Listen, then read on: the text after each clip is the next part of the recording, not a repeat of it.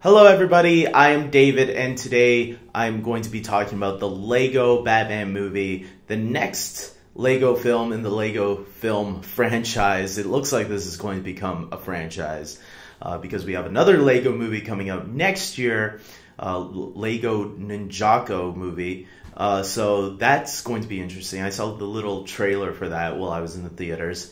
Uh, but let's talk about Lego Batman. I was really looking forward to this movie because the Lego movie, you know, was a great film. And one of the reasons why it was a great film was because Batman himself was a great character. And uh, even though he was a supporting character, and when I saw the trailer for this, I said this could have potential to be a really fun film. Uh, I wasn't worried about it like I was worried about finding Dory, where okay, they got a main uh, a supporting character. Now they're putting him in his own movie, making him the main character. Uh, I wasn't worried about that, or like Cars 2, um, because I feel that there are funny ways you can take Batman. Batman has been done comedically in the past. If you watched the 1960s Batman series, uh, that was a more comedic take on Batman. If you watched um, uh, Batman Brave and the Bold, which is an animated series, which I think is no longer new episodes of, um, that is a pretty comedic take on the DC characters. Um, and yeah, so I really was going into this movie with an open mind, thinking this is going to be a really fun film. I'm hoping at least. And reviews started coming out, it was great, and here's my thoughts. Uh, I really love this movie.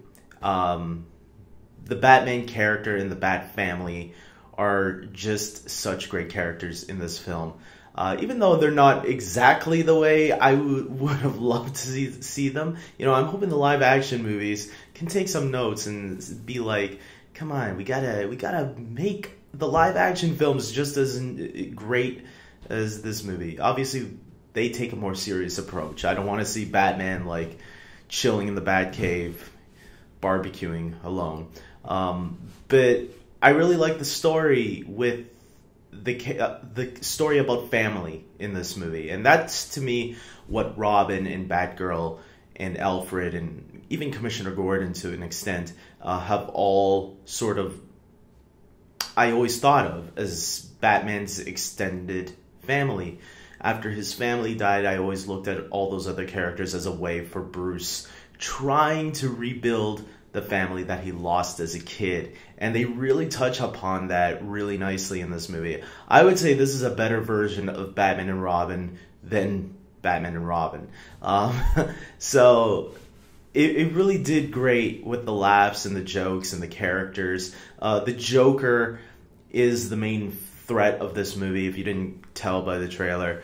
Um, and they take it to some interesting territories that uh, they kind of played with in the movies, but they really make it known to you if you never really kind of got the hints in the past of how obsessed the Joker is with Batman. And maybe Batman even enjoys the the one-on-one battles with the Joker. Um, I really like that. I, I will say that I was kind of sad that the DC, the rest of the DC characters, uh, heroes, uh, the Justice League, they're not in it as much as I thought they would be. I, I really got the sense from the trailers that the DC characters would have been in this a little bit more. They kind of are in the beginning. Uh, Superman probably has the most screen time out of them all. Uh, but then after the first 30 minutes, the DC characters kind of disappear, and it's just the Bat family.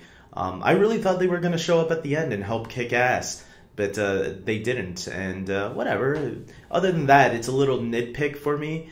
Um, another little nitpick is that we didn't get an awesome song like Everything is Awesome from the original Le- Lego movie. Um, that song got you humming it after you left the theaters, and I still sing it once in a while. when no one's paying attention. Um, but with that being said, yeah, I mean, just little nitpicks. I, I think maybe the middle of the film is a little boring here and there. There's some boring aspects in the middle, but then it picks up and, and it's good all over again. I wouldn't say like yeah, I'm gonna leave it at that. Um, so I will say that this movie is a nice little follow up to the Lego movie. I still think the Lego movie, the original Lego movie, is still uh, a little bit better. Um, but this film is a nice follow up, and if this is what we're going to get uh, more of with other uh, Lego movie films, uh, then I am looking forward to seeing what else this franchise cranks out. Uh, I hope we get a Lego Batman 2. That would be cool. Uh, I you can never get enough Batman, uh, live action or animation. Doesn't matter to me. So until next time, guys, I think that's it. Comment below. Let me know what you guys thought of the Lego movie if you checked it out or if you're planning to. Hopefully, I didn't spoil anything for you. Uh, even ask me a question about it if you do really want to know something. And um, try not to ask a spoilery question just to avoid it for other people who comment below and read the comments. Uh, like this video, subscribe to my channel, and until next time, guys, take care.